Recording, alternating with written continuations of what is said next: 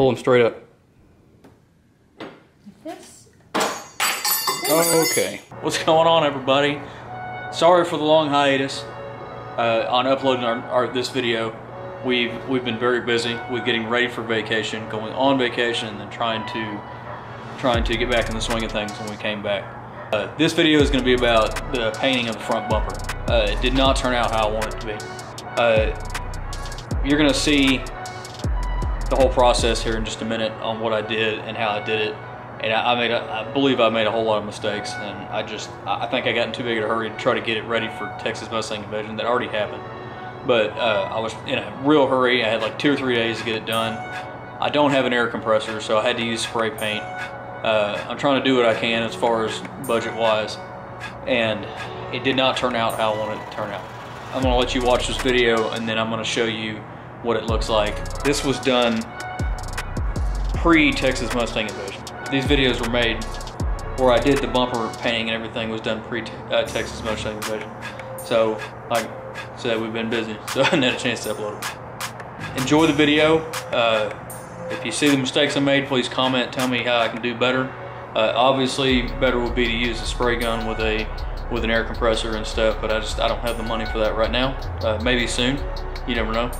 And uh, I may just have to find a, a, used bumper for the time being.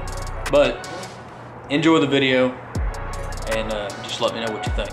Good afternoon, everyone. On today's video, we are going to start working on painting the bumper the when you see this video, it'll probably it'll probably it'll be after uh, when you see this video, it'll be after Texas Mustang Invasion. But I'm trying to do this for Texas Mustang Invasion. So I'm gonna we're gonna pull the bumper off. We're gonna start sanding, and then we're gonna paint the bumper. Well, we're gonna sand it. We're we're gonna fix all the little imperfections in it, uh, prime it, and then paint it, and then clear it. So let's get started. To take the bumper off, we have two bolts that are behind here and then we have two clips, one here, one here, and then two bolts behind the bumper on this side. Don't have any clips on the bottom because I haven't put them on yet. Oh, and then we'll pro I think, I don't know if there's any clips under the headlights, but I'm going to pull the headlights out and we'll find out if there's any under there. Let's start by pulling these clips out for the headlights. Okay. Just pull them straight up. This? Okay. Sorry, Dad. It's alright. You gotta pull it slowly. Just pull straight up. There you go. Okay, next. Pull the headlight out and unhook it. that was easy. Yeah, these are pretty easy. Don't. And one thing you want to do is make sure you don't ever touch the headlight bulb with your fingers. What's the um, bulb? It's hanging out. You'll see it in just a second. Then you have your parking light or blinker. It's right here.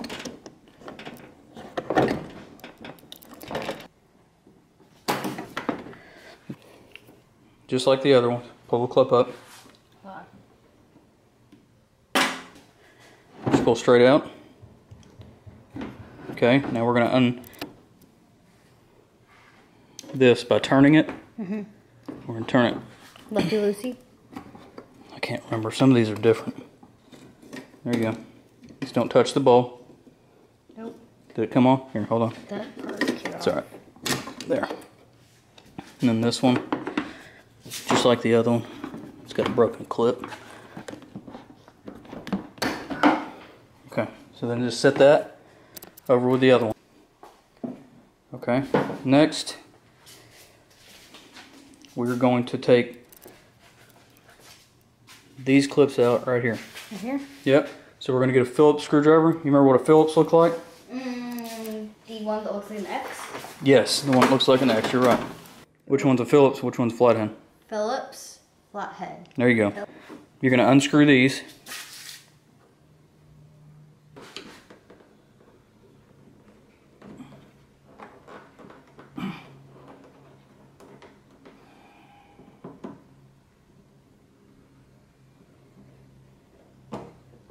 All right, so we got the screw part out. Next, I'm going to pull pull the clip out.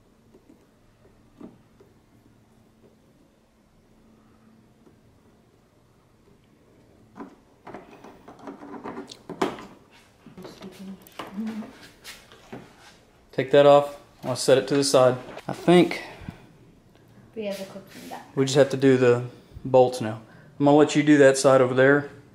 I'm gonna do this side because it's hard to get to.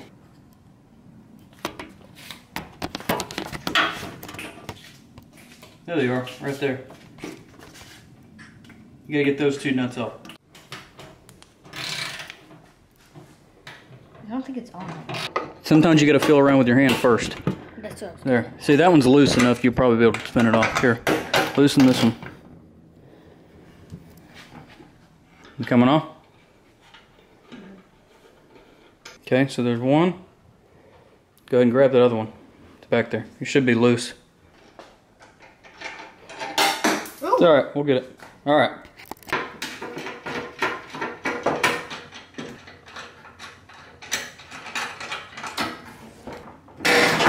Wow, just like that. Because the bottom pieces weren't on. All right. All right. So now, bumper's off, we're gonna pull the car out of here, and I'm gonna set it up on my sawhorses, and I'll start sanding it and stuff like that, getting it prepped to paint it. So let's get that done right now.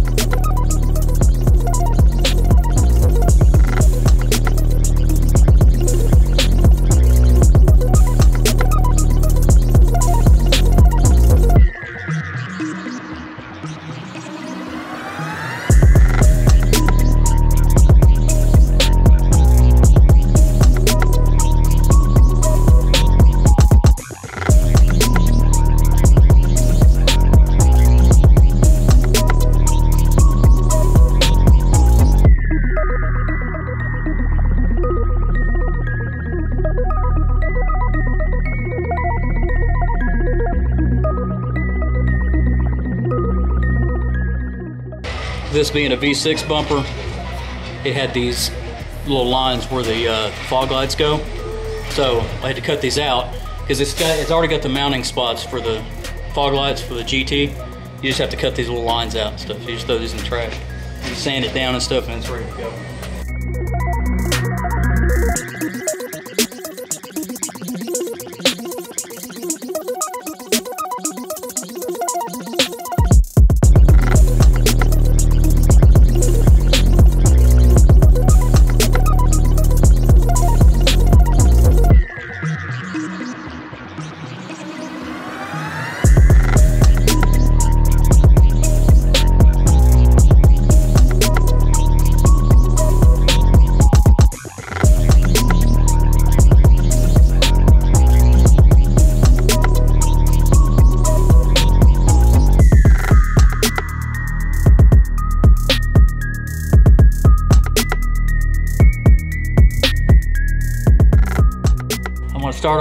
600 grit.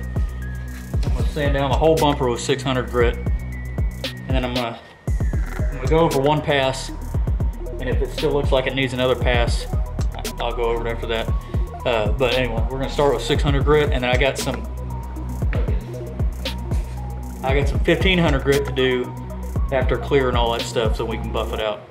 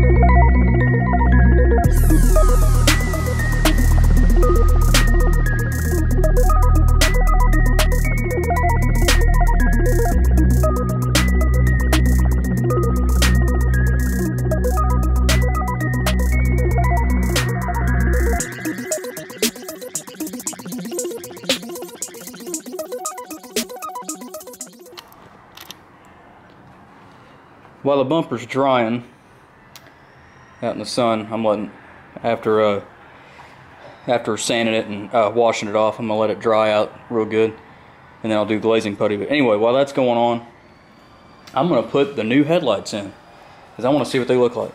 So here's the new ones, one of the new ones right here, as you can see. So I'm gonna throw those in real quick, and that way we can get an idea of what these things are gonna look like on the car. I'm gonna set these down. As you, as you can remember, I'll, I'll kind of go over it again. All it is is you put the bulb sockets in, and then you put the two clips in the back, and that's it. That's how you put these headlights in. So I'm gonna go ahead and do that real quick, and then I'll pick the camera back up and show you what it looks like. I got them in. I got the ones with the clear reflect reflectors on the side. Tara and I, Tara and I thought that would look best with the black car well, these headlights look good. They look way better than those old ones. Uh, it'll look a lot better once I get the bumper back on and get the car completed. But here's the old ones. You see one of them's one of them's damaged right there from the accident that it had, and then both of them are peeling. Like I guess the clear coat on them or whatever on is peeling. So I got these from late model restoration. They were just over hundred dollars for both uh, together, not each. And uh, they come with a one year warranty. So to me, you couldn't beat it. But anyway, all right, I'm gonna get back on sanding this bumper and complete the front of this car so we can get ready for Texas Mustang Invasion in two days. Totally forgot to turn the camera on. Sorry about that. All I did was put a little layer of a glazing putty on it. So I'm gonna continue. I gotta put some more on anyway. If you use this glazing putty, make sure you wear a mask. I've actually got safety glasses. I gotta find them. I'll get them in just the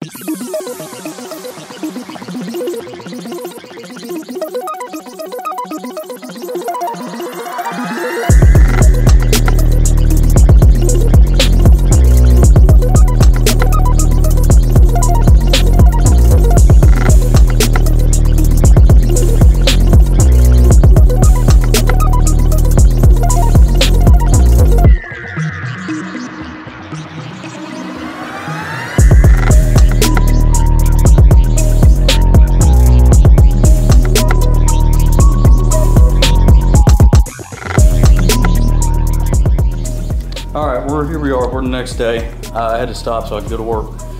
All right, I've got glazing putty put over all these spots, got it sanded down, and I'm gonna put on my first coat of primer. First, I'm gonna tack cloth it. I'm gonna, I'm gonna tack cloth it first, then I'm gonna put on my first coat of primer, and let it dry and then go to the second coat. I think I'm gonna do two coats of primer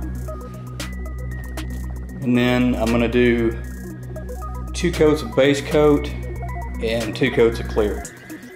Uh, if I had more time, I'd probably do three coats, but I don't have as much time. But anyway, I'm gonna get started on that. And uh, we'll see how it looks when it's done.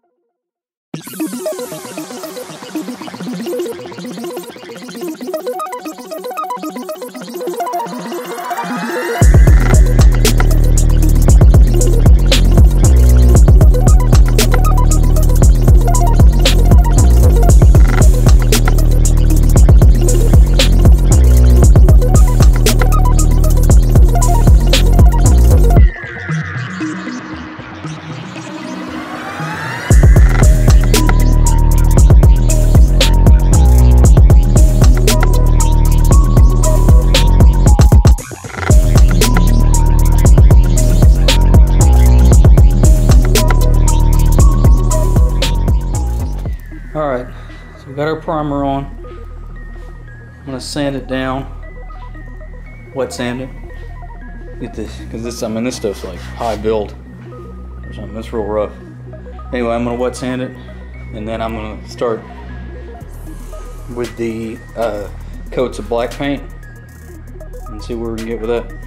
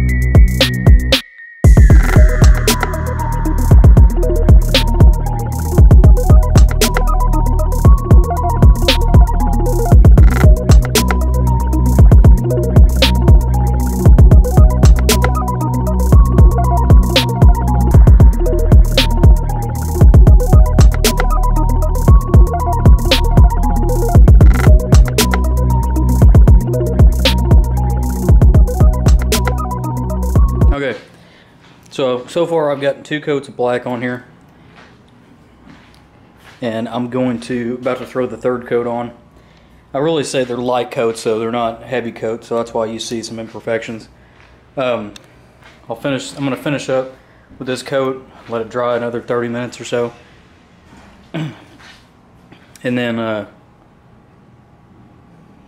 I'll assess from there. I'm probably going. to I'm thinking it's going to need four coats maybe a fifth like good cover coat.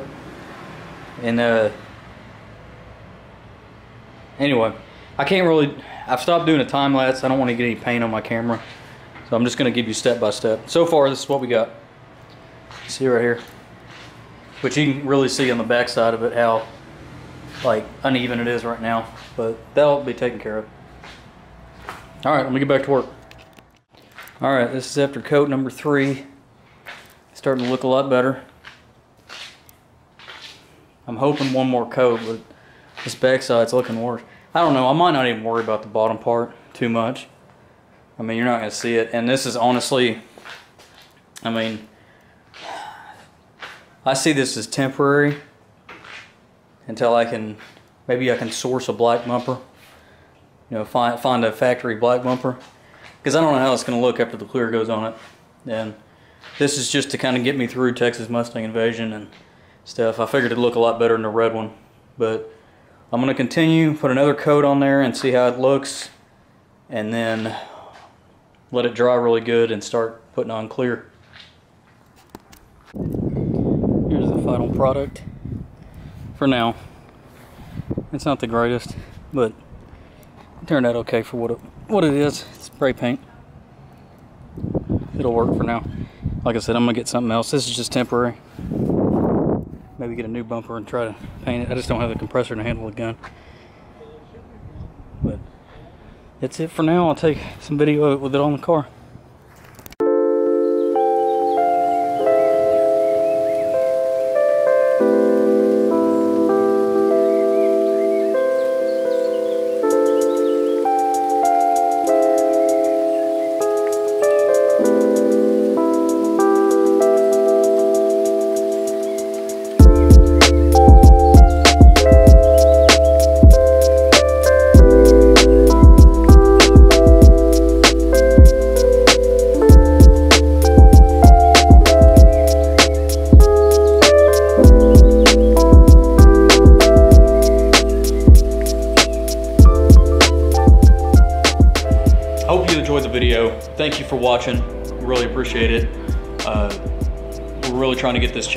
Going. You know, I mean, the the con- there wasn't a whole lot of content for this car.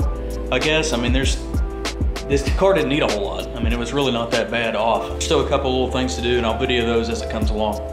But I just want to say thank you for watching. If you like the video, please hit the like button, and please subscribe to our channel. It means a lot to us.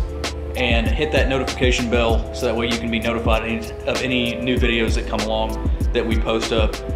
Also, follow us on Instagram at this link right here to get a little more. We, we post a little bit more on Instagram than we may do on YouTube. You know, I mean, stuff like pictures and stuff like that of the car uh, while we're out driving it. You know, we'll just take pictures of it and post it on Instagram. But anyway, thanks again for watching. Have a great day.